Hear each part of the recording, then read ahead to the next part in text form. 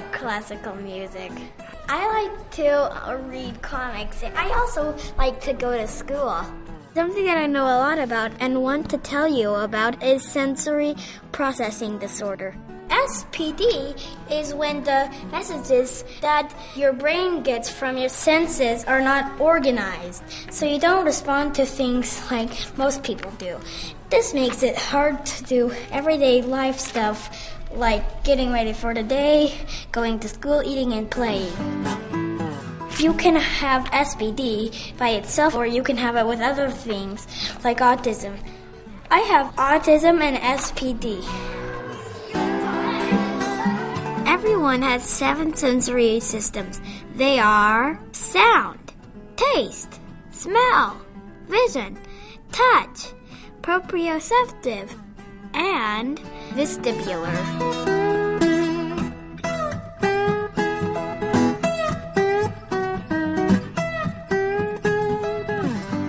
under responsive versus over responsive. You can think of each your sensory systems as being a cup, and water is that type of a sensory input. If you are under responsive to a certain sensory input, it is like you're a big, huge cup. You keep getting water to the big cup. You can just keep adding and adding, but it never feels full. But if you are over responsive, it is like you are a tiny cup. All you need is just a little sensory input and you overflow. You want your cup to be full and not spill over. Each of your sensory systems is their own cup and they are different sizes. Just because you have one big cup does not mean you are under responsive with all your senses. I have a big cup for my proprioceptive and vestibular senses and a little cup for my touch, sound, taste, and smell senses. Everyone is a different and unique.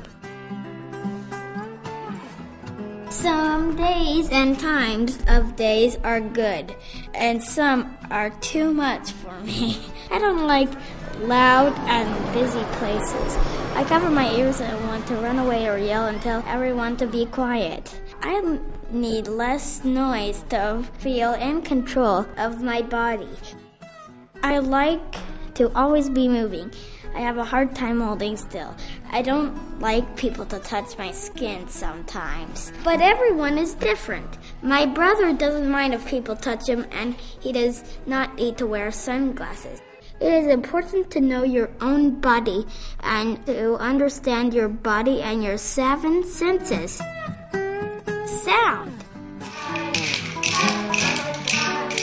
Get the sense of sound through our ears. Uh, when the sound is loud, I can't concentrate of anything except stopping the loud noises. I have a really hard time when my mom's turn on the vacuum or blender. Classical music makes me feel relaxed. I like jazz too. It's nearly the same thing. Taste and smell. When we eat or put things in our mouth, we use our chemical senses, taste and smell. Every time you eat, you use these senses. Vision. Our eyes are how we use our sense of vision.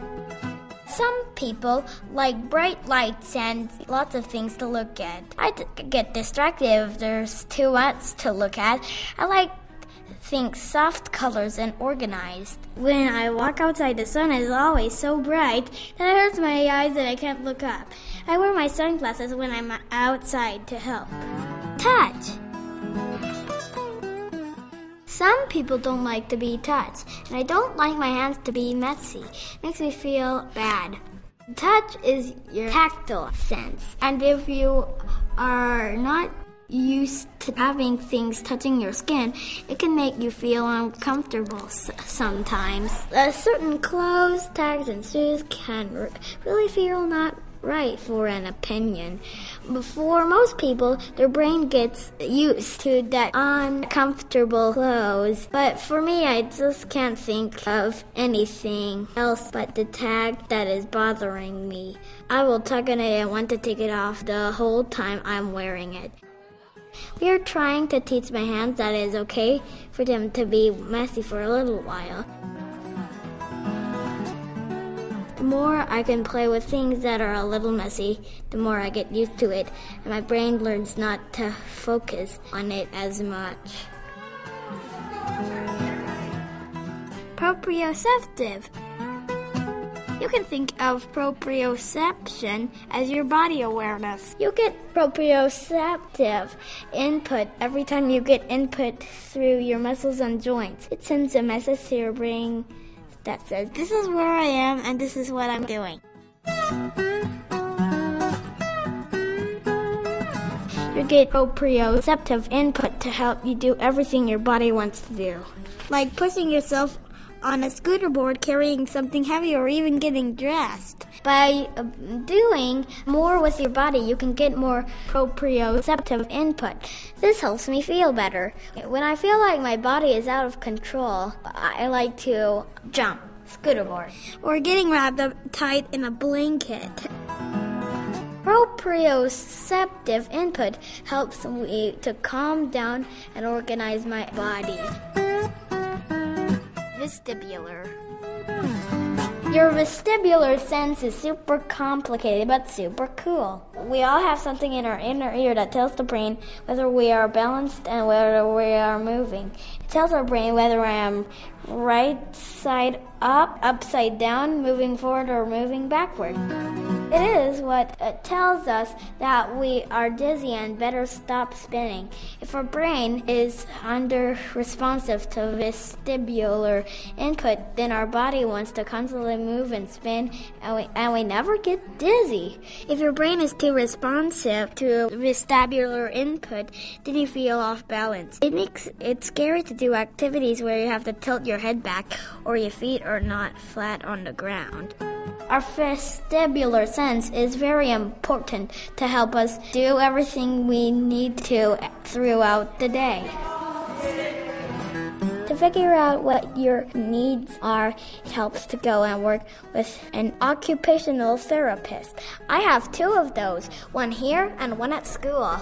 I go to OT one time a week. Katie and me and my mom gets to do fun things together when we go. When I leave, my body feels better. It feels like I am in control. We work out our muscles and our brains. Katie and my mom like to talk about things for us to try at home and school. If you have a hard time with your sensory input, there are a lot of things you can do to make it better. There are activities to help your brain learn how to respond differently to sensory input. You can help your body feel calm and, and, and in control by getting the sensory input you need throughout the day. Your parents, teachers, and occupational therapists can help. To learn more about sensory processing, check out these websites.